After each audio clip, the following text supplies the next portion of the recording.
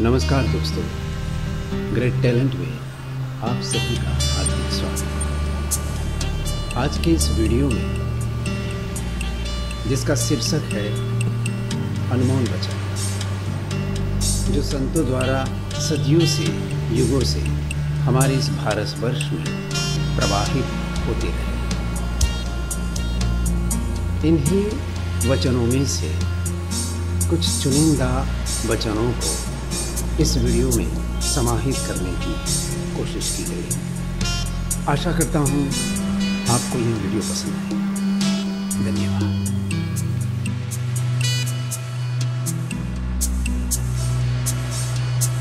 हमारे अधिकतर कार्य चर्चा के आधार पर आधारित होते हैं। जहाँ कहीं मौन की मौलिकता है, वहाँ कार्य में शुभता दिखाई देगी। इस दुनिया में बातों से कुछ नहीं हो सकेगा। बात एक ज़रिया बन सकती है। बस कार्य ही आपकी पहचान दुनिया से करवाता है। कुछ करने से पूर्व संभाषण करने की कोई आवश्यकता नहीं है।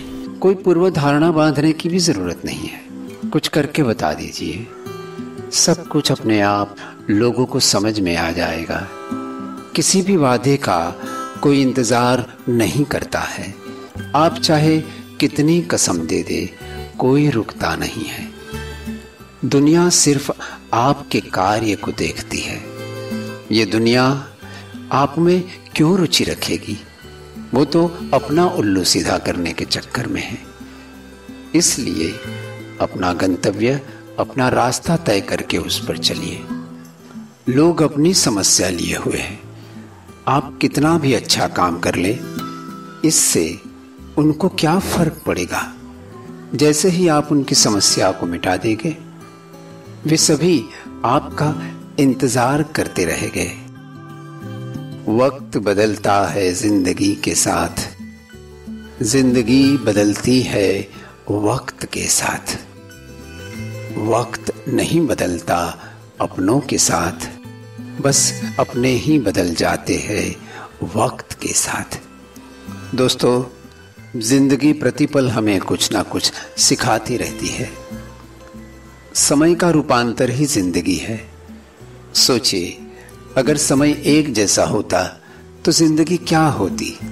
इसलिए समय के साथ परिस्थितियाँ, परिवर्तन का पर्याय बन हमारे सामने उपस्थित होती रहती है।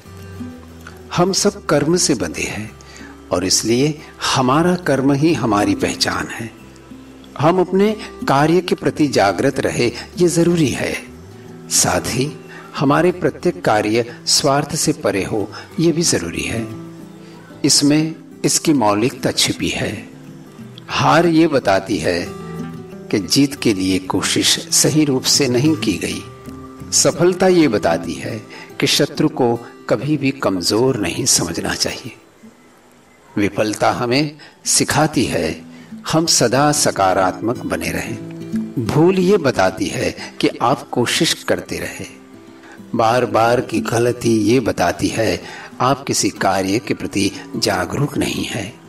लापरवाही आपकी प्रगति को रोकती है। आपके सम्मान को खंडित कर सकती है।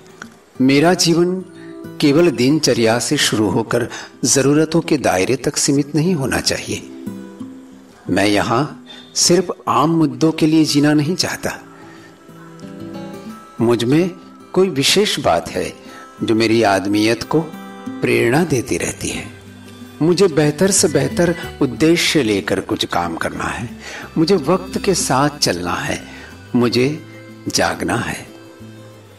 जीवन क्या है? एक गुजरता हुआ कारवा, जिसमें न जाने कितनी उम्र गुजर गई। कितना वक्त गुजर गया, कितने लम्हे कट गए, कितने ख्वाब टूट गए, कितने अरमान निकल गए। इसके बावजूद भी हम अभी भी उस साइन बोर्ड की तरह खड़े हैं, जो बस लोगों को सिर्फ़ रास्ता दिखाता रहता है। आप रिश्तों की भीड़ में कहीं खो मत जाना। रिश्ते कितने बनाए, ये ज़रूरी नहीं। ज़रूरी है उन रिश्तों में कितनी जान है, क्योंकि चीज़ों की कीमत तब तक है जब तक वो बिकी नहीं है। फिर उसे कोई पूछता नहीं है, जबकि इंसान की कीमत उसके मरने के बाद महसूस होती है। रिश्ते चाहे कितने ही अच्छे हो, कितने ही संजीदे हो, पर जब तक उसमें दिल की नमी नहीं होती, वो उस कागज़ के फूल की तरह है। जो दिखता तो खूबसूरत है, पर बेचारे के पास खुशबू नहीं होती। अच्छे रिश्तों की खुशबू हमेशा हमारे आसपास होनी चाहिए। वो हमारे दिल में धड़कन की तरह धड़कती रहनी चाहिए। वक्त एक छलनी की तरह है। वो इंसान को तरासता ही रहता है। जिस दिन आप अपने भीतर की कमज़ोरी को पहचान लेंगे, उसकी आधी ताकत को उसी वक्त खत्म कर लेंगे। हर इंसान की अपनी पहचान उसकी जुबा होती है। जब तक वो खामोश है, उसका परिचय अधूरा है।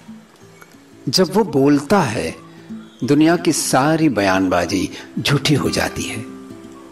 समस्या ये क्या कहती है कि तुम सही रास्तों पर चल रहे हो। पर जब कोई ये कहे कि वो हर बात में सही है वो गलत फहमियों से घिरा रहेगा। कहते हैं, इंसान जन्म के दो वर्ष में बोलना सीख लेता है। पर क्या बोलना चाहिए? कैसे बोलना चाहिए? ये सीखते सीखते ज़िंदगी निकल जाती है। जुल्म करना और जुल्म सहना दोनों ही गुनाह है। इसके बावजूद जुल्म सहने वाला जुल्म सहकर भी मुस्कुरा दे। तो उस इंसान का बदला स्वयं भगवान लेता है। स्वाभिमान वो है जो इंसान में एक असमत की तरह रहता है पर जो अंदर से बाहर निकल जाता है, वो अभिमान होता है।